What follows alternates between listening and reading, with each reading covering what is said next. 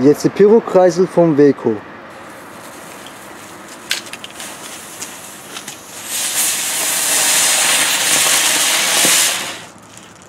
Noch einer? Ja, noch einer.